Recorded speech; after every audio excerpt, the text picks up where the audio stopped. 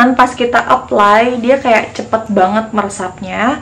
Tapi sayangnya ketika beberapa menit kalian udah apply di wajah, si sunscreen ini tuh kayak nimbulin efek basah minyak gitu loh.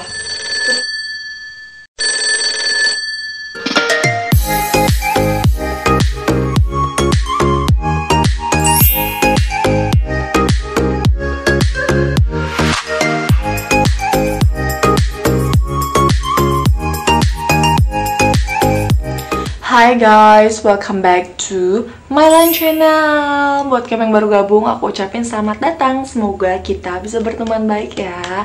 So, di episode kali ini aku bakalan sharing sunblock atau sunscreen Untuk kulit wajah berjerawat. Dan ini tuh udah banyak banget aku bacain request di kolom komentar aku Dari videoku sebelumnya. So, this is it. Ini adalah video yang kalian tunggu-tunggu. Pastiin kalian udah subscribe channelku dulu Dan gak skip video ini sampai akhir ya. Nah guys ini kalian bisa lihat kondisi wajah aku.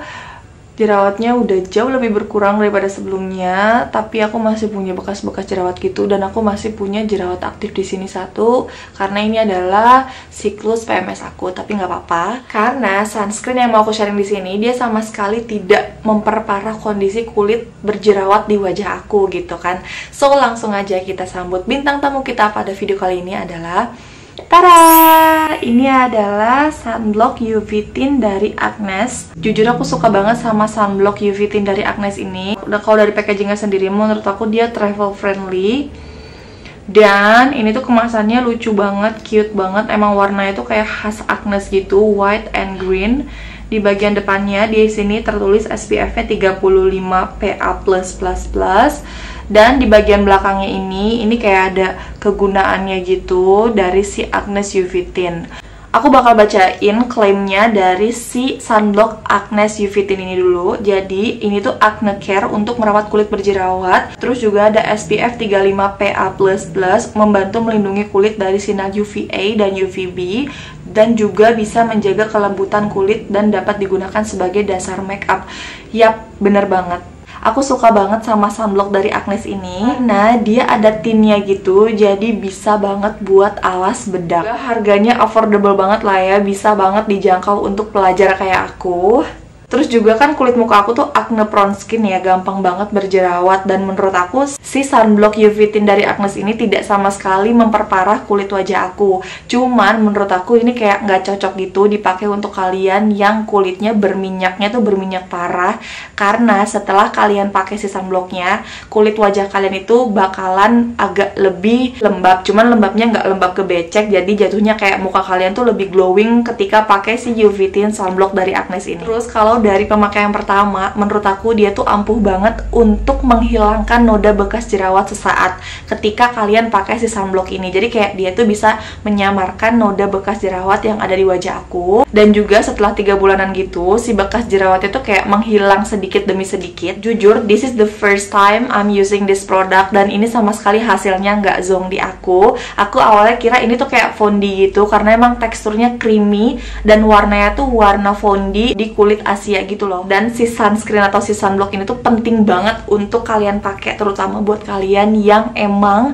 mobilitasnya tuh kerja di luar ruangan gitu yang gampang banget terpapar sinar matahari cocok banget untuk pakai ini. Terus juga si Acne sunscreen ini tuh nggak cuman buat dipakai di luar aja. Kalau misalkan kalian sekarang kan lagi musim daring ya.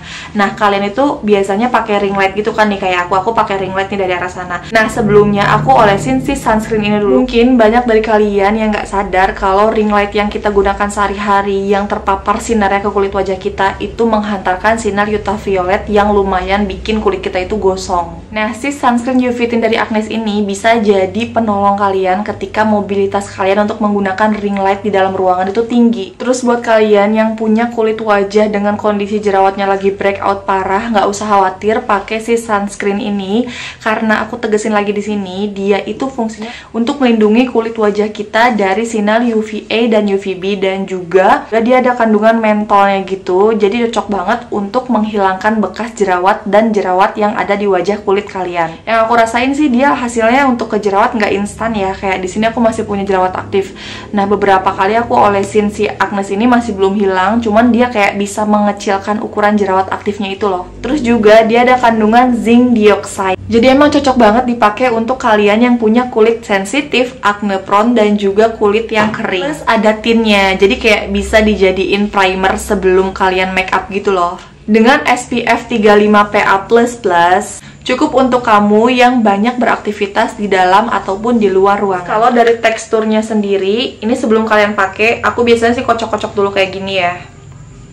Nah, teksturnya itu cair, warnanya itu warna nude gitu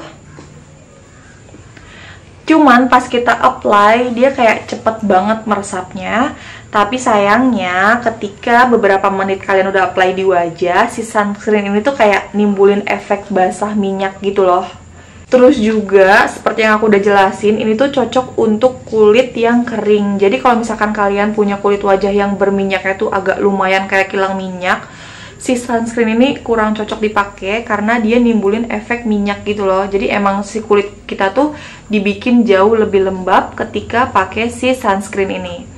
Tuh, kalian bisa lihat, ini warnanya berubah jadi warna transparan. Tapi, ketika kalian blendnya itu di kulit wajah yang ada bekas jerawat, dia bener-bener bisa menyamarkan noda bekas jerawat di wajah kita. Terus, kalau dari harganya sendiri, menurut aku dia affordable banget, cuman di kisaran 40 ribuan aja. Buat kalian yang tertarik mau coba untuk pakai si sunscreen dari Agnes ini, aku udah taruh linknya di deskripsi box video ini ya kalian bisa langsung check out dari sana. Menurut aku untuk harga 40.000 sebanyak 30 gram ini worth it banget karena dua bulan udah aku pakai dan ini masih banyak banget isinya.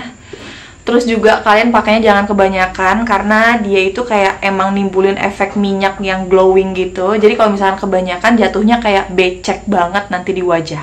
Red dari aku untuk si Agnes Sunscreen UV Tint ini kalau dari 5 aku kasih rednya 4,5 karena emang sebagus itu. So guys, kayaknya segitu dulu informasi yang bisa aku kasih di videoku kali ini. Kalau misalkan kalian merasa terbantu dengan videonya, jangan lupa like video ini. Terus juga kamu boleh banget share ke sosial media yang kamu miliki. Terus buat kamu nih yang belum mau subscribe, jangan lupa subscribe ya biar kamu gak ketinggalan banyak informasi review produk yang cocok untuk acne prone skin dari aku. Oke? Okay? Jangan lupa subscribe di sini. I'll see you in the next video. Bye.